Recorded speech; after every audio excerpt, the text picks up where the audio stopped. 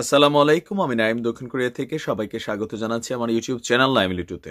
যদি ভালো লাগে তাহলে সাবস্ক্রাইব, আর যদি ভালো ভালো না লাগে দেখতে থাকুন, দেখতে দেখতে ভালো লাগে, ভালোবাসা হয়ে যাবে ইনশাল্লাহ দর্শক, আজকের এই ভিডিওটা একটা সচেতনতামূলক ভিডিও। যদি আপনি অনলাইনে কোনো কেনাকাটা করেন বা অনলাইন থেকে আপনি কোনো কিছু অর্ডার করেন, অথবা হোম ডেলিভারি টাইপের যে বিষয়গুলো আছে, যে ধরেন আমরা পিৎজা অর্ডার দিচ্ছি বা অনেক খাবার অর্ডার দিচ্ছি, এই ধরনের কাজগুলা যারা করছেন, যেহেতু প্রযুক্তি এখন অনেকটা আপডেটিং মানুষের মধ্যে সময় স্বল্পতা আছে, আর সেই সময় স্বল্পতার কারণে আমরা বিভিন্ন সময় খাবার দাবার থেকে শুরু করে অনেক কিছু অনলাইনে অর্ডার করি। কিন্তু এই অনলাইনে অর্ডারের ফলে কি কি ধরনের সমস্যা ঘটতে পারে সেটা সম্পর্কে আপনাদের অনেকের অভিজ্ঞতা আছে যে আপনি অনলাইনে অর্ডার করছেন, একটা আসছে দুই নাম্বার মাল অথবা মোবাইল অর্ডার করে আসছে ইট এই ধরনের প্রতারগুলো প্রতারণাগুলো এক ধরনের হলেও নতুনভাবে যারা প্রবাসী আছেন বা বাংলাদেশে যারা বিয়ে করেছেন, তারা কিন্তু একটু সাবধান। নাসিরের মতন মানুষ সমাজের বিভিন্ন স্তরে আছে। অন্যের বৌনিয়া যাদেরকে মনে করলেন যে টার্গেট কইরা প্রযুক্তি এবং কৌশল ব্যবহার করে আপনার স্ত্রীর সাথে অবৈধ সিস্টেমে ফাঁদে ফেলে ধর্ষণ থেকে শুরু করে ব্ল্যাকমেলিং প্লাস পাশাপাশি আপনার নগদ অর্থ হাতিয়ে নিতে পারে। এমন একটা ঘটনা নিয়ে আমাদের আজকের এই ভিডিও আপনি নিশ্চয়ই মনোযোগ দিয়ে দেখবেন আর সাবধান হবেন। যদিও ঘটনাটা আপনার ভারতের, কিন্তু এটা মানে কলকাতার হলেও বাংলাদেশে এগুলো খুব এখন অ্যাভেলেবল পেশায় একজন ডেলিভারি ম্যান। যিনি বিভিন্ন প্রতিষ্ঠানের খাবার অর্ডার করার পরে তিনি আপনার বাইকে করে এসে এই খাবার পৌঁছে দেন। আবার পণ্যের মান জানার জন্য, আমাদের বাংলাদেশে যে এটা আছে, যেমন অনলাইনে আছে আপনার ফিডব্যাক দেওয়ার একটা সিস্টেম আমরা স্টার স্টার বিভিন্ন ধরনের ক্লিক করি বা এটা রেটিংস করি, কিন্তু বাংলাদেশ এবং ভারতের ভিতরে একটা কমন মিল হচ্ছে পণ্যের মান কেমন ছিল, আপনাকে যে মালটা দেওয়া হয়েছে সেটা জানার জন্য আপনার ফোন নাম্বার নিয়ে বা আপনাকে ফোন করে এটার তথ্য জানা হয় বা বিভিন্ন ওয়েবসাইটে আপনাকে সেখানে কিছু কমেন্টস করার জন্য বলা হয়। আর এই কৌশলটাকে কাজে লাগিয়ে বিভিন্ন নারীদের ফোন নাম্বার কালেকশন করে তাদের সাথে অবৈধ সম্পর্ক করে একা ছেষট্টি নারীকে ধর্ষণ করেছেন ব্ল্যাকমেইলিং করেছেন, পাশাপাশি তাদের কাছ থেকে হাতিয়ে নিয়েছেন নগদ কয়েক কোটি টাকা। জি, আজকের আমাদের যে ব্লুটুথ বয় তার নাম হচ্ছে বিশাল। অবশ্য যদিও এই মুহূর্তে সে গ্রেপ্তার হয়েছে, তার মোবাইল এবং তার কম্পিউটার, ল্যাপটপ ঘেটে আরও অনেক নারীর ভিডিও সহ অনেক কিছু আপনার তার কাছে পাওয়া গিয়েছে। আর তাকে আপনার গত একুশে ফেব্রুয়ারি শনিবার রাতে গ্রেফতার করেছে আপনার কলকাতার যে পুলিশ আছে সেখান থেকে। পশ্চিমবঙ্গের হুগলির কেওটার বাসিন্দা বিশাল বর্মা, তিনি পেশায় একজন অনলাইন বিপণীর ডেলিভারি বয়। বোঝেন তো মানে অনলাইনে যারা আপনারা কিনেন আর যেটাকে সে পৌঁছে দেয়, সে হচ্ছে ওই কাজটা করে। পুলিশের সূত্রে বলা হয়েছে, বিশাল পণ্য পৌঁছে দেওয়ার পর ফিডব্যাক নেওয়ার উসিলায় মহিলাদের ফোন নাম্বার সংগ্রহ করত।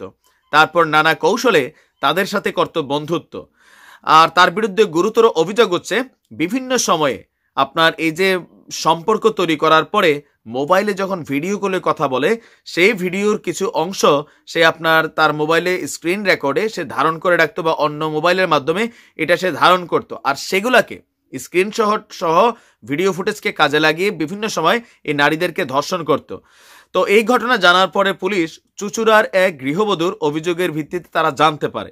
সেই নারীর অভিযোগ যে, একদিন তিনি যখন একটা মাল অর্ডার করছেন, পিৎজা বা এই টাইপের কোনো কিছু, তো পিৎজা দেওয়ার পরে এই ছেলেটা সেই কোম্পানির ফিডব্যাক জানার জন্য নারীর মোবাইল নাম্বার নেয়, এরপরে তার সাথে কৌশলে আপনার সম্পর্ক করে। তবে এই নারী যত কথাই বলুক, এখানে নারীরাও দুধের দোয়া, তুলসী পাতা না।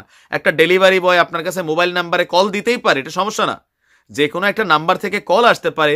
এই নারীর ভিতরে যদি দুই নাম্বারই না থাকে, তারা কিন্তু এরকম দুই নাম্বার কাজে জন্মা জড়ায় না। ধরা খাইলে অবশ্য পোলাপাইনগুলোয় ফাঁসে। তবে নারীদেরও এখানে অনেকটা দায়িত্বহীনতার বা এদের নষ্টামিরও কিন্তু একটা আমার আমার দৃষ্টিতে এটারও কিন্তু একটা দায়ভার আছে। যাই হোক, এরপরে সে এই নারীকে তার সাথে মেলামেশা করে। জামাই যখন ঘরে নেয় আয়সা এটা কৌশলে সে মোবাইলে নাকি ভিডিও ধারণ করছিল। একবার ধারণ করার পরে নারী বুঝতে পারছে যে ছেলেটা ভালো না বা ওনার ফ্লেভার হয় নাই। তখন তিনি এই ছেলে থেকে যখন পাশ কাটতে চাইছেন, সেও যে মোবাইলের ভিডিও, বিভিন্ন কথোপকথন এগুলো দেখাইয়া এই নারীর থেকে নগদ প্রায় আপনার আট লক্ষ টাকা আপনার সে নিয়ে নিয়েছে এবং কি নারীর যে গয়নাগাটি আছে, ক্যাশ টাকা যখন দিতে পারে নাই, গয়নাগাটিগুলো সে সরাই নিয়ে গেছে। এরপরে নারীকে বিভিন্ন সময় চাপ দেওয়ার কারণে সে পুলিশের কাছে বিষয়টা সম্পর্কে একটা মামলা করে। মামলার ফলে শনিবার একুশে ফেব্রুয়ারি রাতে চুচুড়া থানার পুলিশ কর্মকর্তা তীর্থ সারথী হালদারের নেতৃত্বে একটি দল ব্যান্ডেলের কেওটার ত্রিকোণ পার্কে আপনার অভিযান চালায়। বিশালের বাড়িতে ঢুকে তাকে এক মহিলার সঙ্গে তখনও নগদে পাওয়া যায় অবৈধ সম্পর্কে জড়িত। এই বিশাল কোনো বিয়ে করেনি। পুলিশের সূত্র জানা গেছে যে এই নারীকেও বিশাল একইভাবে ভয় দেখিয়ে তার বাড়িতে এনে ধর্ষণ করছিল। বিশালের মোবাইল এবং তার কাছে থাকা বেশ কিছু মাইক্রোচিপে অসংখ্য মহিলার ছবি এবং ভিডিও পেয়েছে পুলিশ। আর কি বলা হয় যে এইখানে যেই মহিলাটাকে হাতে নাতে ধরছে, তার কাছ থেকে আরও তথ্য আসছে যে সে বিভিন্ন সময় যৌনকর্মীদেরকেও নিয়ে আসতো ইভেন যৌনকর্মীদেরকে সে আপনার এই ধরনের হয়রানি করত। একটি ভিডিওতে দেখা গেছে যে বিশাল অস্ত্র হাতে দাঁড়িয়ে দাঁড়িয়ে আছে এবং তার পায়ের কাছে আপনার হাত জোর করে পা ধরে দাঁড়িয়ে আছে বা বসে আছে একজন মহিলা। যদিও বিশাল পরে দাবি করছে এটা আগ্নেয়াস্ত্র নয়, এটা একটা খেলনা মোবাইল। বিশালের মোবাইলে পাওয়া ছবি দেখে সুমন মণ্ডল নামে তার এক সহযোগীর সন্ধানও পেয়েছে চুচুড়া থানা পুলিশ। সুমন পেশায় রং মিস্ত্রি। তিনিও কেউটার বাসিন্দা। সুমনের পরিবারের দাবি, এসব তারা জানেন না, এসব দোষ বিশালের ঘাড়েই। সুমন থেকেও এখানে যে তথ্যগুলো আসছে, বিভিন্ন বাড়িতে রঙের কাজ করতে যায়। আপনি দেখেন যে এখন আসলে কাজগুলা কীভাবে করবে। পুরুষবিহীন যে বাড়িগুলো আছে, সেইখানে এই ধরনের কাজগুলোতে দায়িত্বশীল কোনো পুরুষ পরিবারের হোক আত্মীয় স্বজন, এখন আত্মীয় স্বজনও বিশ্বাস নাই এই জাতির। ভাই, নিজের বাড়ির কাজ নিজে করেন, নয়তো শ্বশুরে দিয়া রাখাইয়া করান, নয়তো নিজের বাপ রেখা করান। এখন এটা ছাড়া আর কোনো গতি নাই। এই সুমনও রং মিস্ত্রির কাজ করতে গিয়া সে বিভিন্ন বাড়ির নাম্বারের মানে নারীদের নাম্বার আনতো, আইনেটা বিশালকে দিত। সুমন এবং মিশাল দুইজনে মিলা সিন্ডিকেট পাকাইয়া এই ধরনের কর্মকাণ্ডগুলো করত। করতে করতে বিশাল স্বীকার করেছে, এটা তার ছেষট্টি নাম্বার স্বীকার ছিল, যেই মামলায় তিনি এই মুহূর্তে জেল হাজতে আছেন।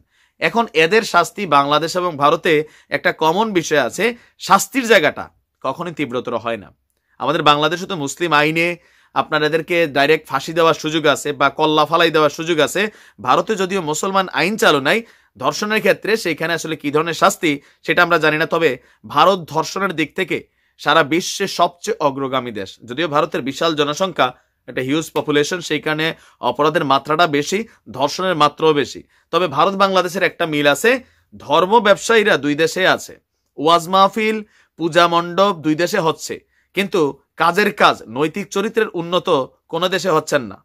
আর এটার জন্য দায়ভার আসলে আমি মনে করি যে, রাষ্ট্রের যেই আইনি সিস্টেমটা আছে, সেই আইনি সিস্টেমে কিছু পরিবর্তন দরকার। কেমন পরিবর্তন? যে, ধর্ষকের ফাঁসির রায় দেখেন, বাংলাদেশে এই মুহূর্তে বেশ কয়েকটা পেন্ডিং আছে। অনেকগুলা রায় হয়ে গেছে। কিন্তু রায়ের আসামিরা এখনও জেলে বসে ভাত খাচ্ছে, যেমন সিরাজ উদ্দৌলা আমাদের সেই আলোচিত তনুহত্যা ধর্ষকের তনুহত্যার যে আসামি সিরাজউদ্দৌলা। অনেক আগেই তার ফাঁসির রায় হয়েছে কিন্তু কোনো এক অজ্ঞাত কারণে বা আইনি জটিলতায় নাকি সময় স্বল্পতায় তার ফাঁসি কার্যক্রম মানে আপনার কমপ্লিট করা হচ্ছে না, সেটা আমি জানি না। বাট আমরা রাষ্ট্রের কাছে আবদার করব, বিজ্ঞ আদালতদের কাছে, যে যখনই কোনো আসামিকে ফাঁসির রায় দেওয়া হয় সেটা যেন কয় কার্য দিবসের মধ্যে, তবে স্যার দয়া করে শর্ট টাইমে দিবেন, অথবা প্রকাশ্যে যদি ঝুলানোর ব্যবস্থা থাকে, সেটা দেশ জাতির জন্য বড়ই কল্যাণকর হবে। কেননা, একটা মনে করলেন যে আইকনিক ফাঁসি, হাজারো ধর্ষকদের মনে ভয় তৈরি করবে।